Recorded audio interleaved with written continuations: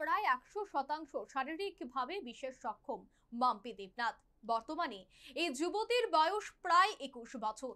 সরকারি দপ্তরে দুয়ারে দুয়ারে ঘুরেও এখনও পর্যন্ত মিলেনি সামাজিক ভাতা। দুঃখের হলেও সত্যি। অজ্ঞতা, অনাথ এই যুবতীর দায়িত্ব নিয়েছে তারই মাসি। ঘটনাচক্রে সেই মাসিও দিব্যাঙ্গ। এই ঘটনায় চাপা ক্ষোভ বিরাজ করছে সাবরুমের বচেন্দ্রনগর পঞ্চায়েত এলাকায়। বিগত বাম জামানায় লক্ষ লক্ষ সামাজিক ভাতা প্রদান করা হয়েছে। আর একই ধারা বজায় রয়েছে বর্তমান বিজেপি আইপিএফটি জোট জামানাতেও। কিন্তু এর মাঝে এমন কিছু ঘটনা নজরে আসে যা সত্যি করোনার উদ্রেক হয়। এমনই এক চিত্র ক্যামেরায় ধরা পড়ল সাবরুমের বজেন্দ্রনগর গ্রাম পঞ্চায়েতের দু নম্বর ওয়ার্ড এলাকায়। এই পঞ্চায়েতের নাথপাড়ার বাসিন্দা মঞ্জু দেবনাথ। প্রকৃতির নিষ্ঠুর খেয়ালে তিনি দিব্যাঙ্গ। তিনি যে সামাজিক ভাতা পাচ্ছেন তা দিয়ে কোনো রকমে জীবন ধারণ করছেন। তার উপর মরার উপর খাড়ার ঘায়ের মতো তাকে লালন পালন করতে হচ্ছে একুশ বছর বয়সী তার বঞ্জি মাম্পিনাথকে। আর এই মাম্পি প্রায় একশো শতাংশ দিব্যাঙ্গ। যেখানে মঞ্জু দেবনাথ নিজেই দিব্যাঙ্গ তাকে দেখার আর কোনো লোকজন নেই নেই কোনো আর্থিক সঙ্গতি। এই অবস্থায় মাম্পিকে নিয়ে মহাফাফরে পড়েছেন মঞ্জু দেবনাথ। দিব্যাঙ্গ মাম্পির সামাজিক ভাতার জন্য তিনি দুয়ারে দুয়ারে ঘুরছেন। কিন্তু সংশ্লিষ্ট সরকারি কর্মকর্তাদের নেই কোনো হেলদোল। দায়িত্বপ্রাপ্ত জননেতারাও পিঠ দেখাচ্ছে বারে বারে। শুনুন মাসি বঞ্চির অবর্ণনীয় দুর্দশার কথা। বাবা বাবা ছিল মারা গেছে মাইয়া আড়াই বছর থাকতে। ও মা? মা বাবা মাচ্চা ধরো মার সন্ধ্যা দিন আসিল কাজ টাজ গেছে আর মায়া মা আরেকজনের লোক গেছে গা। জায়গা এখন কেউ নাই? না আমরা শুধু শিশুরাজি দুজন ও কোনো মতে রেশনের চাল টাল পাই এটা দিয়ে কোনো মতে খাই আর কি। আপনার এখন কি দাবি? সরকার থেকে হের লাগে কিছু ভাতা টাতা পাইনি না না না। হ্যাঁ? বিশ বাইশ বছর হয়ে গেছে কই না ভাতা এই নাই। তো জানাইছেন পঞ্চায়েত কর্তৃপক্ষ পঞ্চায়েত টঞ্চায়েত সব জানাইছি। কয়েকটা দরখাস্ত বহু দরখাস্ত করছি। হ্যাঁ। কিছু না।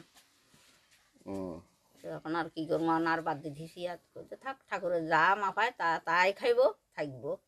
এই আর কি আর কিছু দৌড়াদৌড়ি করবার তো আর নাই। ঠিক আছে নি? তো ওর লেখাপড়া? ও মাইয়া আর দি খাইতে জানেন না লিফটিং করতে না দিয়ে না হারে হিয়ানে লিফটিং করে দিব দিয়ে না হারে হিয়ানে হিসাব করে দিব। গাউরে স্নান করার জন লাগে, ভাত খাওয়ার জন লাগে অন। সবাইও তো খাইতে জানে না। বলে একটা জিনিস দিয়েছি সবাই খাবে টুস করে গিলিয়ে লাগে তো আরেক লাগে দরবার। এগুলো কই কোনো কিছু অভিযোগ, দায়িত্বপ্রাপ্ত জনপ্রতিনিধি থেকে শুরু করে শাসক দলের একাংশ নেতৃত্ব। এ বিষয়ে কোনো পদক্ষেপ গ্রহণ করতে না চাইলে শাসক দলীয় তৃণমূল স্তরের নেতাকর্মীরা কিন্তু এই বিষয়টিতে এক প্রকার ক্ষুব্ধ। তবে দিব্যাঙ্গ মাম্পিনাথ যাতে সামাজিক ভাতা পেতে পারে সে ব্যাপারে ইতিমধ্যেই তারাও যথেষ্ট খাটাখাটনি দৌড়ঝাঁপ করেছে। কিন্তু সমস্যার সমাধান আজও তিমিরে। কথা বলতে পারে না, হাঁটতে পারে না। মানে সমস্যা তারা দুজনের সমস্যা দুজন বিকলাঙ্গ। কিন্তু পিসি তো অনেক আগের থেকে ভাতা পায় কিন্তু হের ভাতার লাগে অনেকবার অ্যাপ্লাই করা সত্ত্বেও আমি নিজে কাগজ জমা দিছি।